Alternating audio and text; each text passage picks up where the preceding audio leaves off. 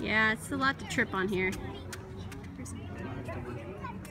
I know, if he would just let us hold his hand, it would be